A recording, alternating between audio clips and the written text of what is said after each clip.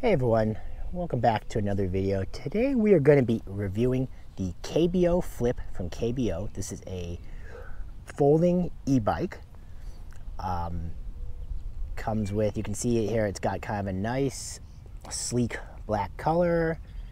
Comes with a attached integrated rear rack, 20 by 3 tires, and overall generally good look, very compact, lightweight, good bike for getting around the city.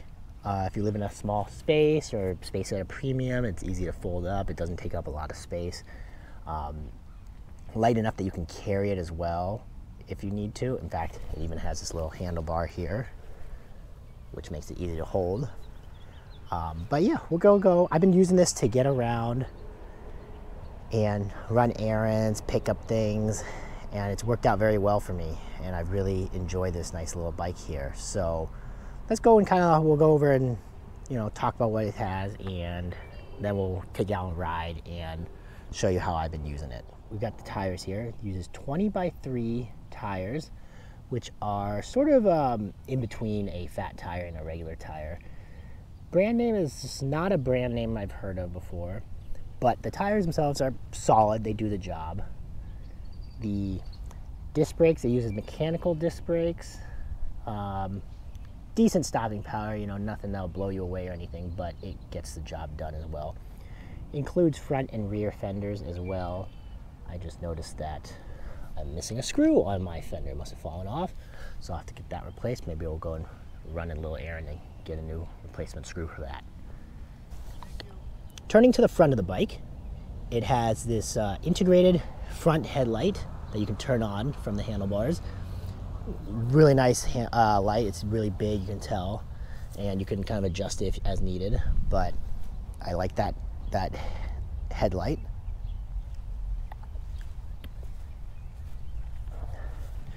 Taking a look at the rear of the bike, it's got this integrated rear rack, which is nice. It gives it a lot of sturdiness to it. You could easily hold a basket. Probably put a kid seat even there and hold a kid if you needed to, or you know, if you had to hold up perhaps a passenger, you could do that. For the motor, it uses a 500 watt rear hub motor. Good solid power on this motor. You, will get about 18 to 20 miles per hour, um, depending on terrain and everything. I'm typically riding about 18 or 20 miles per hour in riding, which is a good speed for riding around the city. You got the mechanical disc brakes again on the back. A good solid kickstand. You know, nothing crazy on this kickstand obviously, but it does the job. Pedals are plastic pedals. Nothing too spectacular about them, but at this price point, that's what you would expect for that.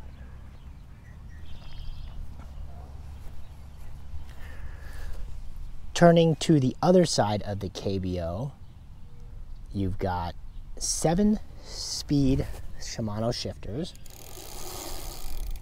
Very smooth shifting. Um, I'm able to switch between high and low gear very easily. Again, the pedals are solid, do the job. And everything here looks very nice and runs smoothly. Not too much clicking or rubbing or anything like that. Next, next we turn to the seat. The seat is a nice squishy seat.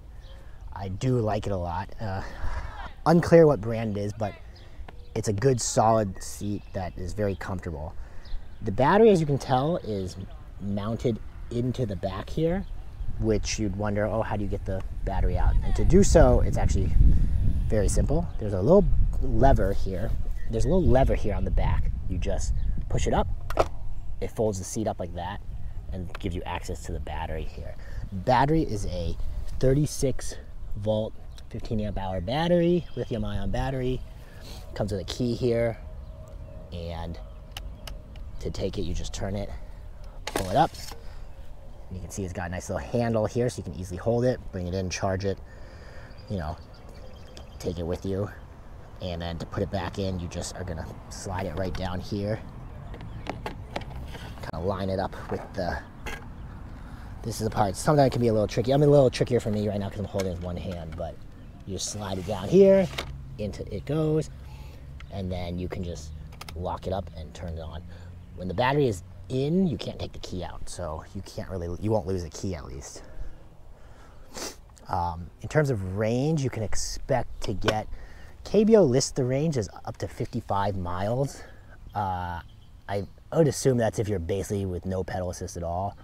In my riding with it, getting more like 25 miles is more realistic, but that's still plenty good for getting around the city. And overall, I think this is a pretty good battery. Okay, next, moving to the handlebars on this bike. It's got rubber grips on the left and right, nothing too fancy there. A kind of little mechanical bell here that you can use to get people's attention.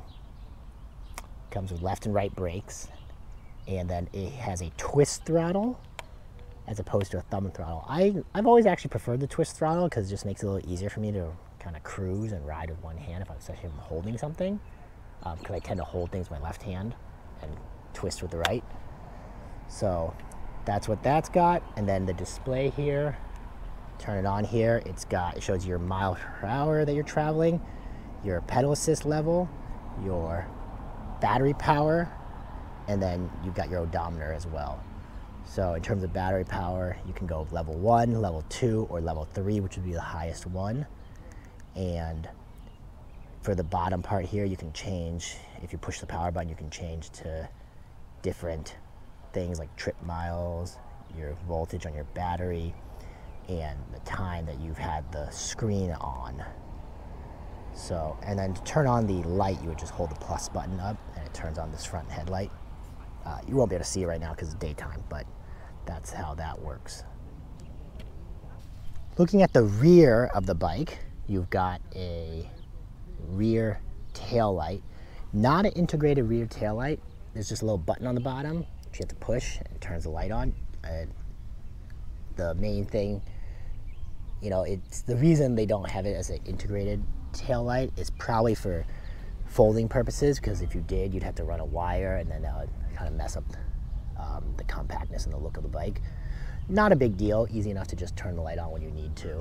Um, so now we're going to look at the folding mechanism of the KBO. So it folds at two parts. You've got the main frame folding latch over here, and you've got your handlebar folding here, so you can fold the stem down.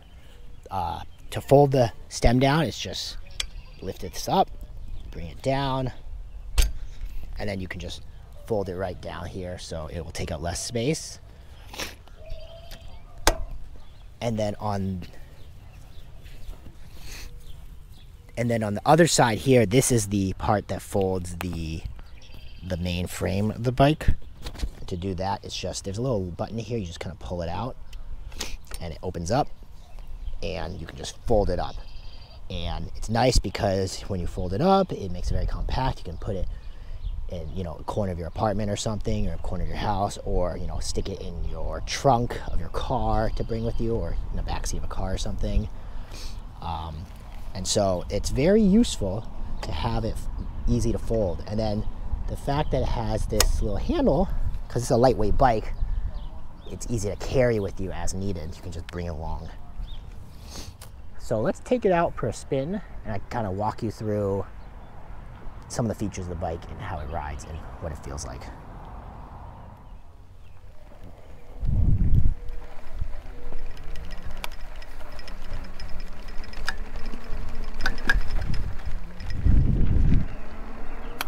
Okay, so we're taking the KBO out for a spin. And right off the bat, it's not like the most powerful bike.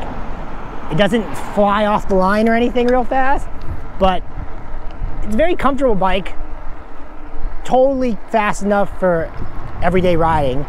Here I am at pedal assist level one, which is not, you know, a ton of power on it. And already you can see it's no problem going 15 miles an hour or so. And if I put it up to pedal assist level two, or, you know, let's put it up to level three. It gives it plenty of power.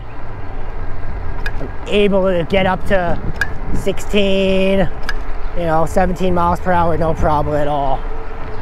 So, very comfortable, comfortable ride. The seat, the seat is really nice. Uh, it's a squishy seat, so you get a lot of cushion on it. And I think it's a good. I think it gives you a lot of uh, something you could ride for a long time.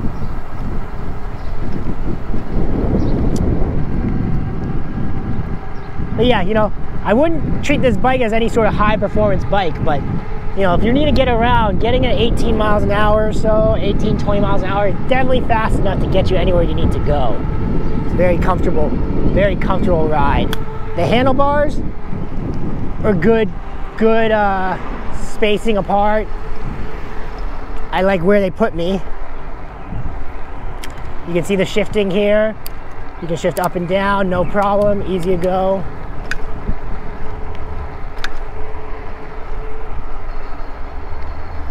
Got a little bell there, which is good.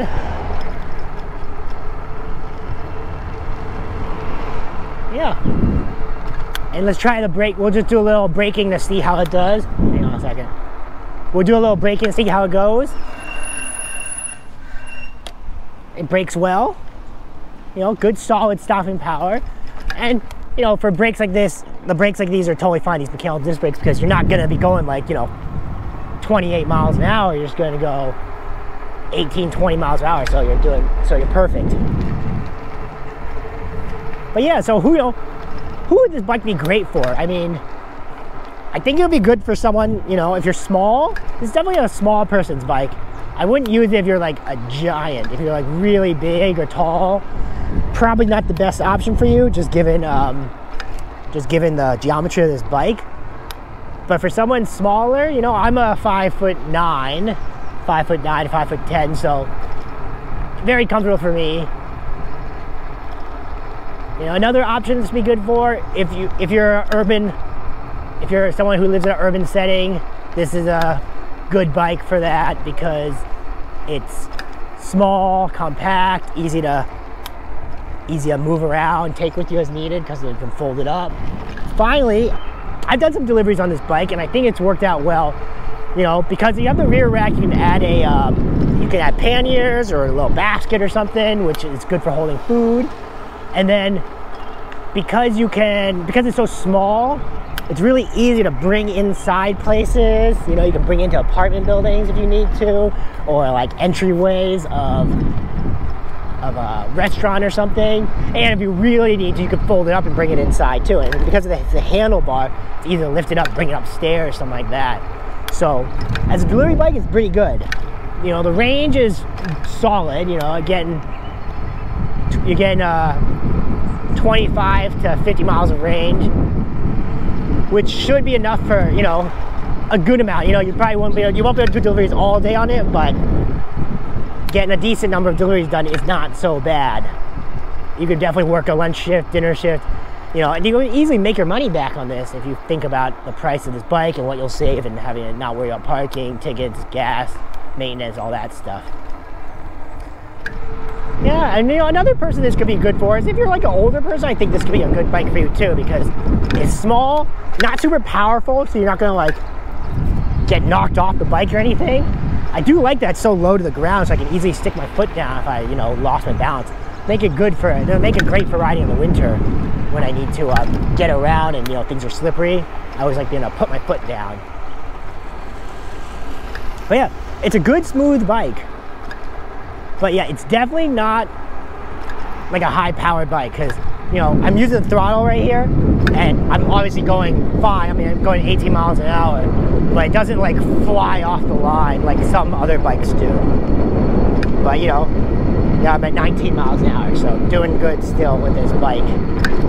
Yeah, and the, you know, the tires give me a lot, of nice smooth ride to it. Um, it's really absorbing the bumps well. But yeah, overall, really enjoy this bike. I think it is a good bike, especially because of the folding capabilities. I love folding bikes. And you know, there's other folding bikes on the market that are like kind of like this. You know, you could think um, I'm thinking of high-end bikes. I'm thinking of something like a Brompton, but a Brompton, this bike is under a thousand dollars. Brompton is, you know, four thousand dollars or something. So there's a big difference in price, and obviously not everyone's in that price point to get a high-end uh, bike. This is a good entry-level folding bike for sure. That I really think is great. Now, if you're someone who likes to pedal, this bike isn't hard to pedal. It's actually, it's totally fine. It's a totally fine pedaling bike, but uh, not like the most comfortable bike to pedal just because of the size of it. So now what I think I'm gonna do, I've got some errands to, I need to, I'm gonna go try to pick up this extra screw I need for this um, I'm gonna pick up this extra screw I need for the for this missing bit here for the fender. So I am gonna go and take you guys along with me as I pick up this little screw.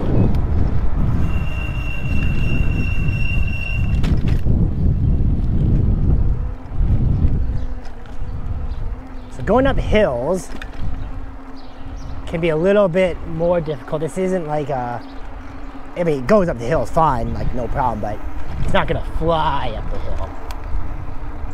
I was able to get up that hill without any issues. Just took a little bit of work.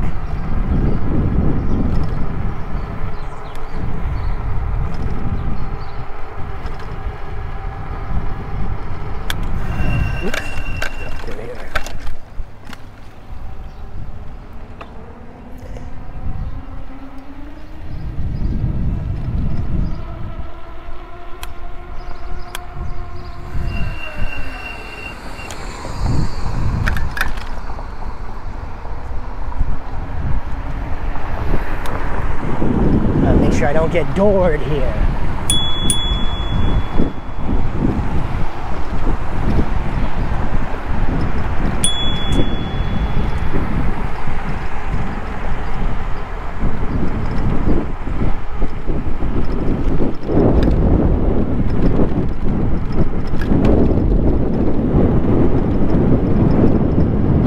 All right, the hardware store is over here on the left. So we're gonna try to run in there, grab a screw that we need, and then we'll be on our way. So, overall, uh, this is a great bike. Really like it for the price point. I think it comes in at under a thousand bucks for a folding e-bike. And with the tires, you know, with the 20 by 3 tires, you could probably ride it pretty much year round. I don't think I'd, I, I'm, I would plan to use this in the winter too. So very compact, looks great, easy to carry, lightweight. Uh, I've had a, I've really enjoyed using it so far.